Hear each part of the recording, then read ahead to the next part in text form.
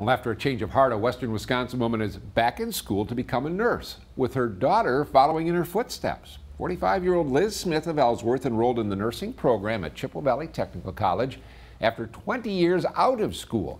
And her daughter Charlize is taking preliminary nursing courses at the same school. Liz has been a graphic designer for 25 years, but her interest in healthcare inspired her to change careers as her children got older. Now, both Liz and Charlize say they often help each other study and Liz's story helps motivate Charlize during her schooling. It's nice that like I can kind of follow in her footsteps and um, like learn from her because we're kind of going down the same path. But I just think it's cool that she finally like just went for what she wanted to do, even though she didn't go right out of high school into like the medical field. So being able to change careers in just like the middle of your life is kind of cool to me. Liz says she was more excited than nervous to go back to school after her hiatus. She encourages everyone considering changing careers, follow their dreams.